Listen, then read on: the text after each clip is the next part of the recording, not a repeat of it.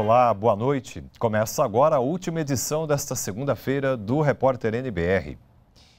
Qualificar startups para atrair investidores é um dos objetivos do programa Inovativa Brasil, uma parceria do Ministério da Indústria, Comércio Exterior e Serviços com o Sebrae.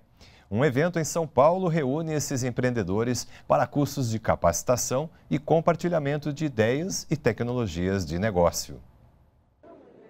Ao todo, 126 participantes tiveram a oportunidade de apresentar seus projetos a investidores no primeiro ciclo de aceleração do Inovativa Brasil.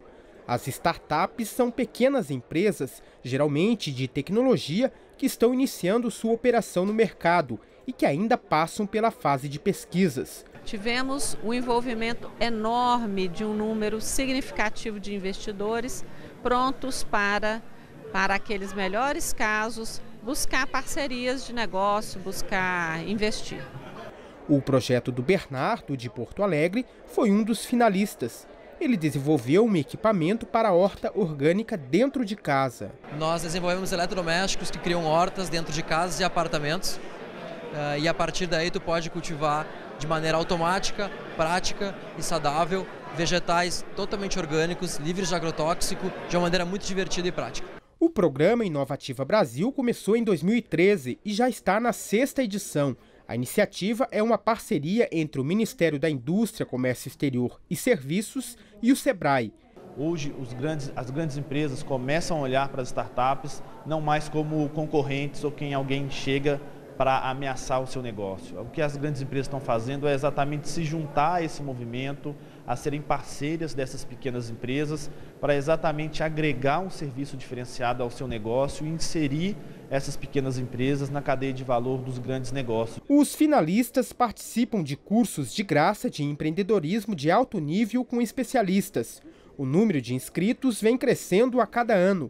O apoio do Sebrae facilita o envolvimento dos empreendedores no projeto. Além das mentorias e das ações de capacitação à distância, essas empresas contam também com toda a estrutura de suporte do SEBRAE, de capacitação presencial e de apoio às empresas participantes. As empresas em estágio inicial selecionadas que terminarem todo o ciclo da Inovativa Brasil recebem um certificado e um selo digital Startup Acelerada, que pode ser usado na divulgação da empresa. Elas também poderão ter benefícios em outros programas públicos e privados de fomento a startups. A partir de 2018, 2019, o programa continua, continua crescendo. Serão mais de 600 startups por ano que vão entrar no nosso ciclo de aceleração e dessas 250 que a gente fará a conexão com o mercado. A gente acredita no programa e a gente sabe que tem feito a diferença para essas startups captarem investimento. Para você ter uma ideia, nós tivemos, das startups que participaram do programa até 2016, é, nós tivemos, elas captaram mais de 40 milhões de reais de investimentos para os seus negócios. Cai o índice de acidentes que envolvem a má utilização da rede elétrica no Brasil. Durante a 11ª Semana Nacional da Segurança, que está sendo realizada aqui em Brasília, foi lançada a campanha do uso consciente da energia elétrica. Toda a economia de um país depende de energia elétrica, a indústria para movimentar as máquinas, a agricultura para dinamizar a colheita e os serviços para iluminar bares e restaurantes.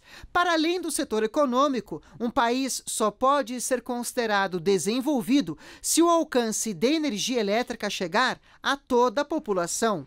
No Brasil, segundo a Associação Brasileira de Distribuidoras de Energia Elétrica, a cobertura alcança 99,8% dos domicílios, o que equivale a 206 milhões de brasileiros. O Brasil quase universalizou a energia elétrica, mas problemas ainda são realidade no país. No ano passado, ocorreram 773 acidentes com a rede que levaram a 126 mortes. Esses números são muito semelhantes aos de 2015, mas eles foram ainda piores no passado, quando as empresas de distribuição de energia elétrica ainda não realizavam campanhas de conscientização no Brasil.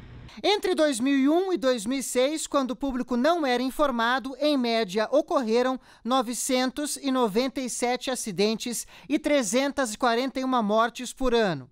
Já entre o fim de 2006, quando ocorreu a primeira campanha nacional, e 2016, foram em média 836 acidentes, com 297 mortes por ano. A ANEL vê com preocupação, né, toda vez que tem uma morte, qualquer uma que seja, por causa de acidente com energia elétrica. Eu acho que as campanhas, elas têm sido feitas, têm sido bastante abrangente, mas é, demora bastante toda vez que uma campanha é, tem que atingir um público muito grande. A redução dos acidentes só vai ocorrer depois que a sociedade tenha as informações e esteja consciente dos riscos que envolve manusear ah, inadequadamente energia elétrica. Entre os 14 tipos mais comuns de acidentes com energia elétrica, cinco lideram a lista. Eles ocorrem em maior intensidade na construção civil, nas ligações clandestinas, na instalação de antenas, na poda de árvores e com pipas. É por isso que a campanha deste ano, que aborda o uso consciente da energia elétrica, além de alertar para os riscos, reforça pontos como a racionalidade no consumo. Quando a pessoa não paga a conta de luz, ela é, gasta de forma irracional, ela desperdiça energia elétrica. Então, é, a primeira vertente é fazer com que as pessoas é, tenham um consumo compatível com o seu orçamento doméstico. O repórter NBR fica por aqui. Você pode rever as reportagens no YouTube e toda a nossa programação está disponível na internet. Uma boa noite para você e continue com a gente aqui na NBR, a TV do Governo Federal.